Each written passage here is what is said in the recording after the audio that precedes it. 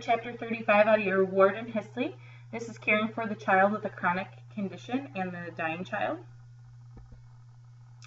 So a chronic condition, this is any sort of condition that um, physically, cognitively impairs the child.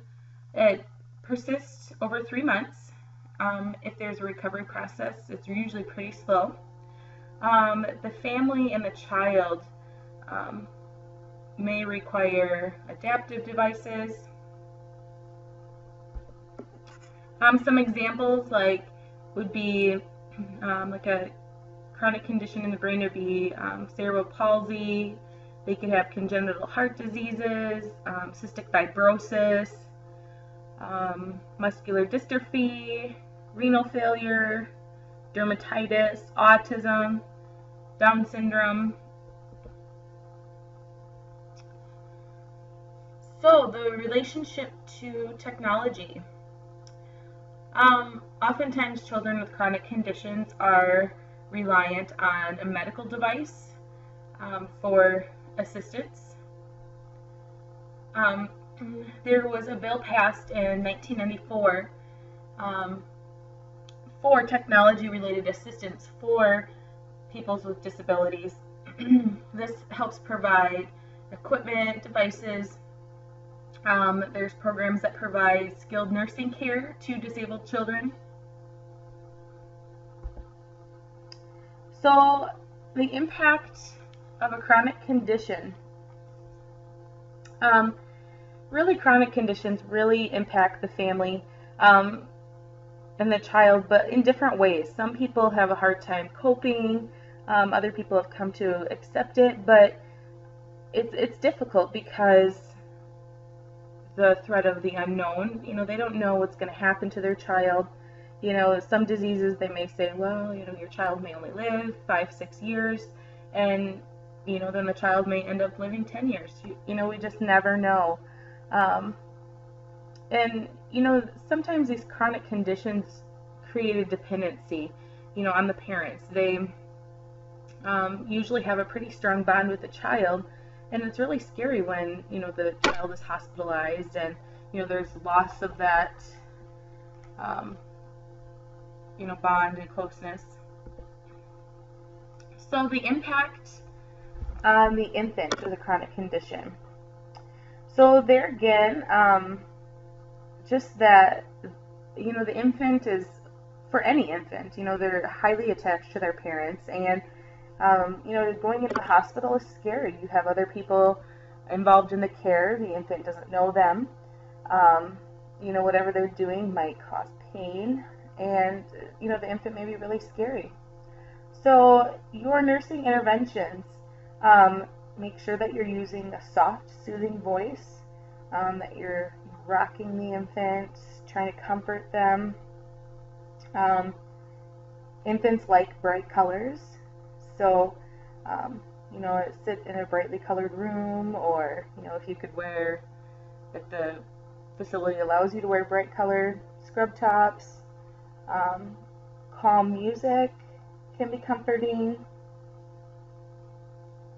And make sure that the crib is not in a place that is scary for the infant. So, uh, you know, when they're performing procedures, um, make sure the crib is not in there because we want the crib to be a safe place.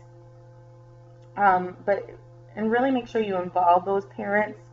Um, you know, if the parents say you're giving um, like a a shot of some kind, you know, if the parents can hold that infant and be able to comfort them, um, you know, things go a lot better.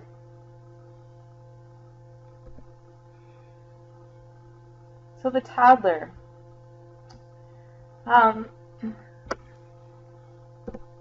the toddler is going to have a lot of anxiety, and there again, especially with the separation from parents, um, it, it's really scary for them, and we want to reduce that stress.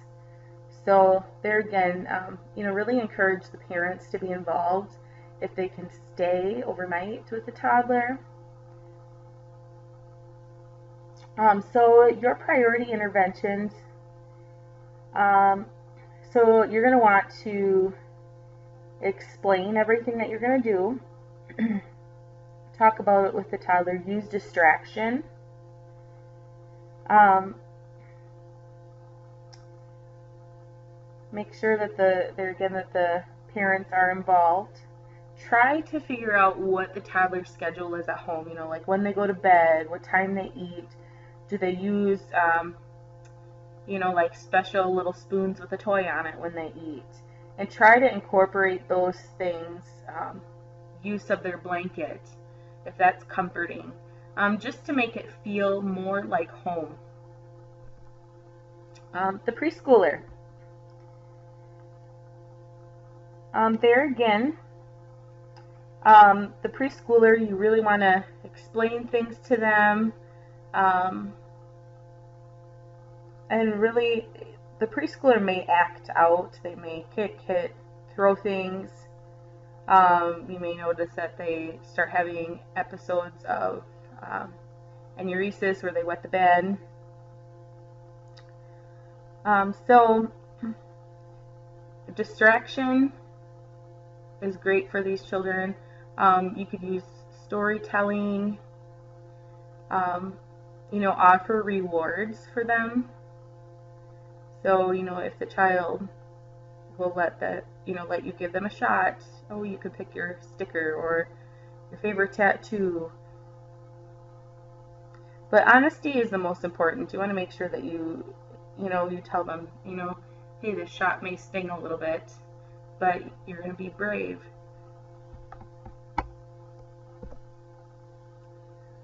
So the school age child. Um, oftentimes when they get to be the school age and they've had a chronic condition, it's it's pretty common that they've had separation from their peer group. Um, so sometimes it may you know, this child may not be as talkative, they may not be as outgoing. Um, and really by this time they may understand their the impact of their chronic condition and you know may I mean this is, might be really hard for them to deal with. So nursing care um, make sure you're really assessing their pain Um, again, be open and honest. Um, a lot of peds floors will have playrooms, so make sure that you're um, offering playrooms. They'll have, um, you know, like gaming systems like Xbox, PlayStation. Those are pretty popular in the hospitals, so make sure you're offering those things. Um, you know, if the child has been able to go to school and does have friends, allow the friends to come in and spend time with the child um, socialization is really, really important.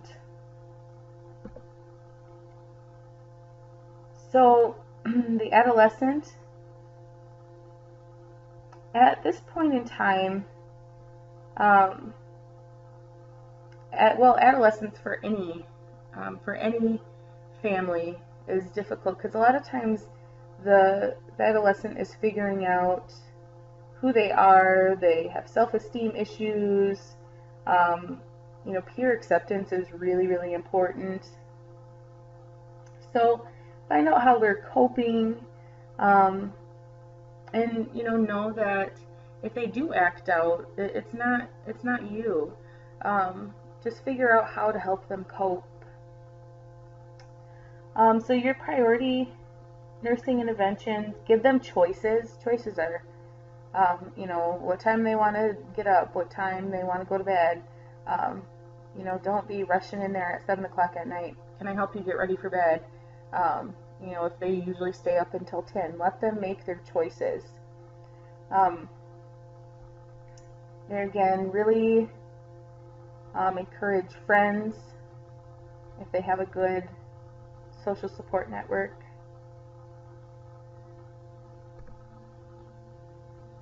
So, impact on the siblings. You know, sometimes we forget to think about the family and the siblings and how they're feeling. Um, you know, sometimes siblings may feel jealous because there again, you know, the, the child with the chronic condition will get all the attention. Um, you know, the parents are constantly, you know, worried, waiting on them. And, you know, that, that other child may be kind of left out, left out in the dust.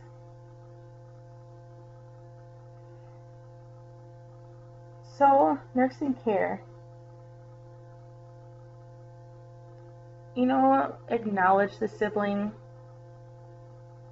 Use your therapeutic communication. Um, figure out how you can you can help them. You know, they um, the sibling might feel angry. Um, help them help them figure out a way to cope.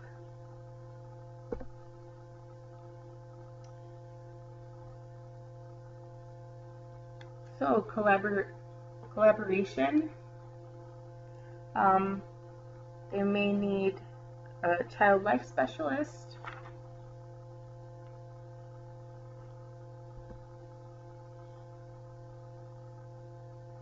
Um, sometimes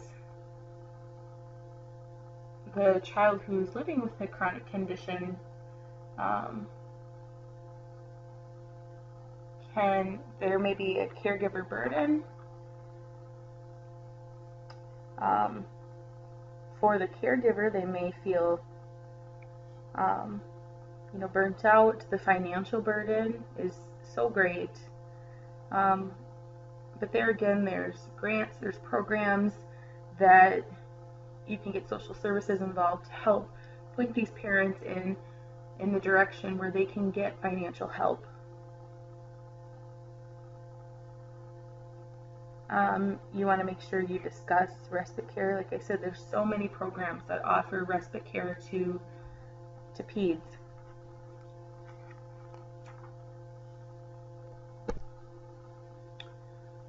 So, emotional responses to chronic condition. Um, for the family, they're stressed out. And there again, knowing that this disease will eventually end in you know, and a poor outcome. Um, it can be fatal.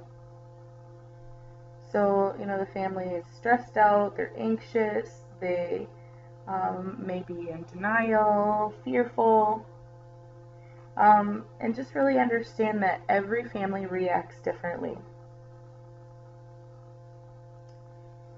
So make sure that you have really good communication with the family, um, you know, and promote um, you know positivity that that the family can really um, you know give the child a good life. Um, make their make their days fulfilling. Um, you know encourage them to have relationships and and have friends.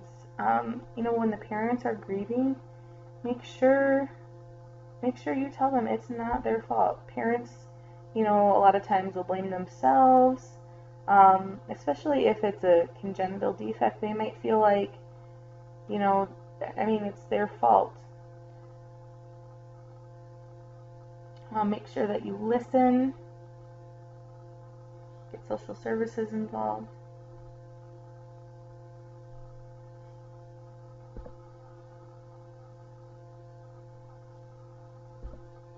So make sure that you're establishing a therapeutic relationship. Uh, make sure the family trusts you. Um, the child may have some growth failure, meaning that um, the height and the weight of the child is on a lower percentile on the growth charts. Um, so Make sure, like, say a child is unable to take in adequate nutrition by mouth, make sure that um, there's an alternative feeding method established.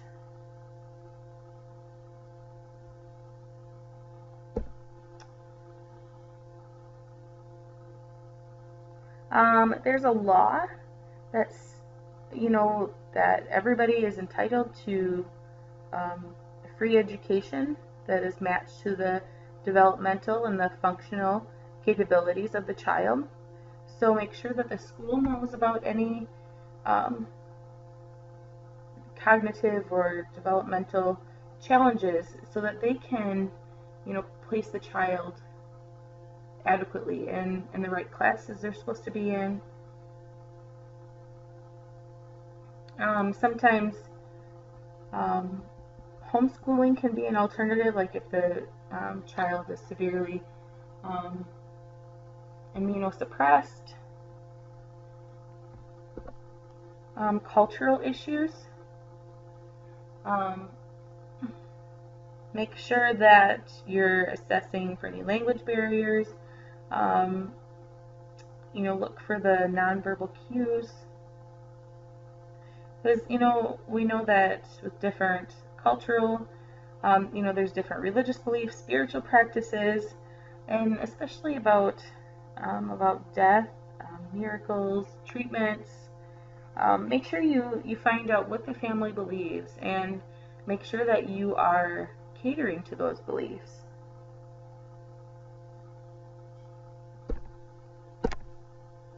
So the dying child, um, the perceptions of death change as they age.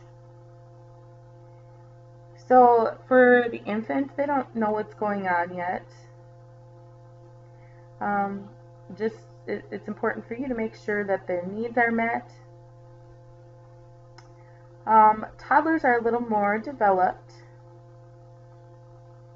Um, and they might be scared because they'll be separated from their parents. So really encourage that parent to be with that child as long as they can. Um, the preschool age, um, you know, they can pick up that something is, is wrong. They might be scared. Um, and make sure that you're answering honestly to the child's questions. Uh, make sure that they know that their condition is not their fault. You know, preschoolers might, um, you know, think that they were bad, and that's why this condition came about.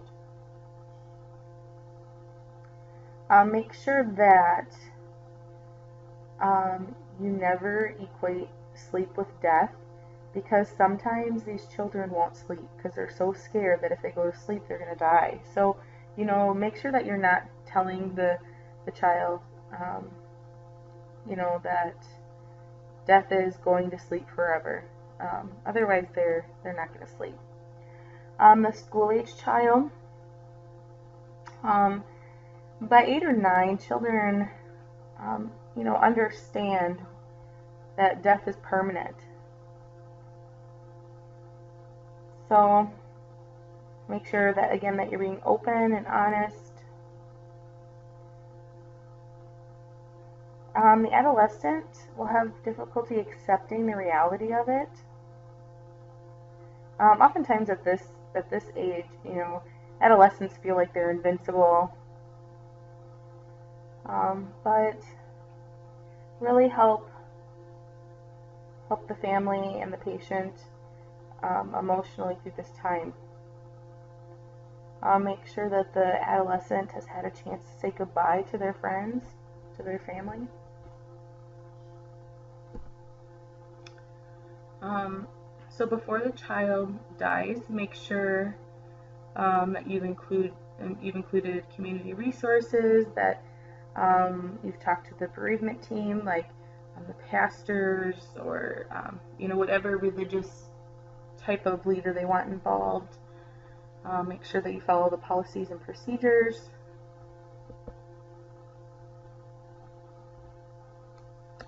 So, signs and symptoms. Um, a lot of times there'll be loss of bowel bladder function, loss of consciousness. Um, they may have that Cheyne-Stokes respiration. Um, you may hear, um, they call it the death rattle kind of just a noisy respiration or noisy chest. They may have um, some mottling, um, decreased weak pulse, they'll have a drop in blood pressure.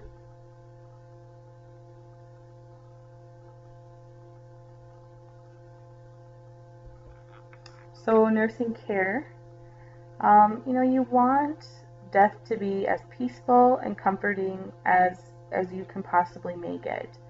Um, make sure that you're giving the family choices about the dying process.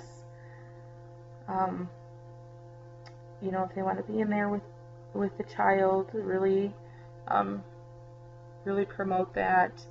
Um, you know, let them let them fulfill their, you know, their last wishes. Um, I took care of a patient in the hospital one time who their last wish was to see their dog, and um, so we got the dog in there, and the patient went the very next day. But you know, if you, if you can do anything to fulfill those last wishes, make sure you do it. Um, so make sure that you're addressing the physical, emotional, and spiritual aspects.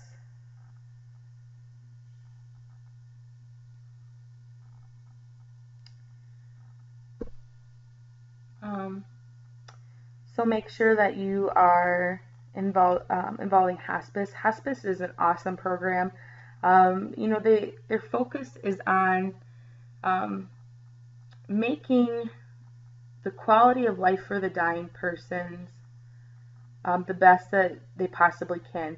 They are the people who are, you know, really focusing on comfort. Um, you know how to how to incorporate those last wishes, and, and they not only focus on the patient, but they focus on the family. Um, so some holistic cares again comfort measures, so important. Um, making sure that you're turning the child, that um, you know they have their favorite blanket. Um, you know, making sure that you know you're keeping them clean, you're keeping them dry, keeping their mouth moist. Um, that they that they have their emotional support, their family, their friends, their siblings. Um, you know, that if the family wants a pastor or a rabbi or a priest, that you've that you've done that for them. Um, making sure that you've controlled their pain, um, anxiety. So after the child dies, make sure that you give give the family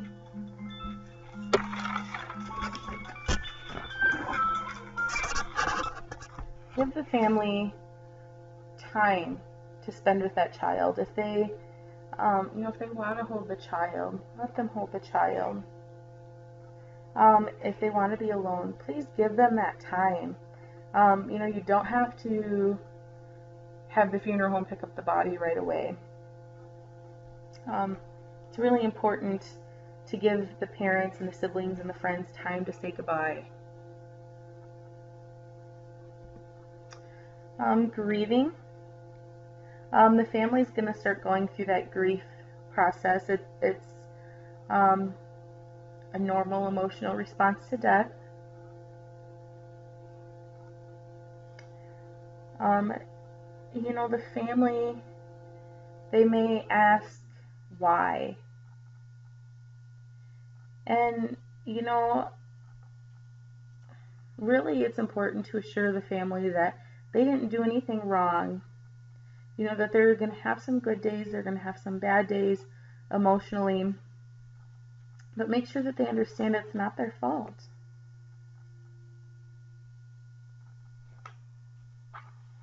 Um, there's different different stages of of grief and different grieving theories. Um, Kubler-Ross is um, described the five stages of grieving as denial and isolation, and this is, you know, where the family is numb, they're in disbelief, um, shock, and this is the way they protect themselves from emotional pain. They may have then followed by anger, where they, um, you know, become angry with, um, you know, their God or have a spiritual crisis Um, bargaining, they may um, question what did I do to make this happen. Um, then depression. Um, this is where you know the they're no longer in denial and they know that this can't be bargained away, but they're going to be sad and um, and then acceptance is where they come to terms. Um, and then they find the strength and the joy in life.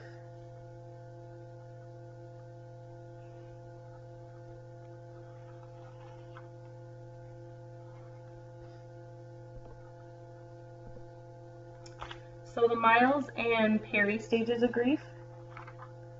This is another um, theory of grieving. Um, they have phase one, where again there's numbness and shock. Phase two is intense grief, and phase three is a period of reorganization. Um, Epperson's. Um, first, the family will feel high anxiety. Um, this will be where they're really stressed. Um, then followed by denial, then anger, then remorse, where they feel guilt and sorrow, then grief, and then reconciliation.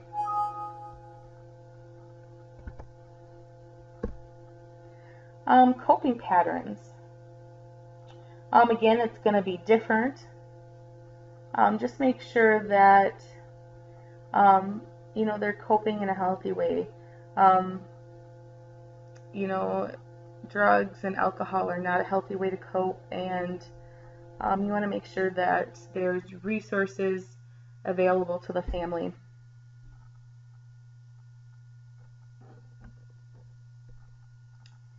So saying goodbye. Um, again, don't don't rush it. Let the family have time if they want to hold their child, and make sure you call the child by his or her name. Um, tell them you're sorry. Um, that it must be hard for them. Can you call somebody for them? Can you do something for them? Um, do you want, do they want you to sit with them? Because sometimes it's just, it's comforting just to have somebody sit there with you. I'll make sure that the siblings can say goodbye um, and that they're, they're included in the grieving process. Um, remembrance packages or packets. Um, sometimes pictures can be good. Um, just make sure you ask. Sometimes, um, you know, the parents might want to keep a lock of hair. Um, and and just know um, just know that that it's okay for you to send a sympathy card. Um, you know, at this point, it's okay for you to give the patient the patient's family a hug and and be supportive, and it's okay for you to cry. Um, you know, just make sure that you're you know keeping it under control, but it's okay to grieve with them. Um, if the depending on the type of illness, um, organ tissue donation can be a discussion. Make sure that um, you know you've talked with the family about this, and make sure you're approaching them at appropriate time. You know, right after the child dies is not an appropriate time to ask about organ tissue donation.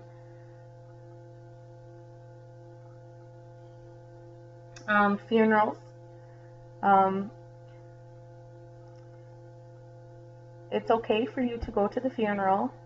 Um, again, it might be difficult and emotional, but a lot of times that family they really like seeing the nurse at the funeral. Um, you know, it just it shows that you care. Um, if you can't attend the funeral, sending a card is appropriate. Caring for the caregiver.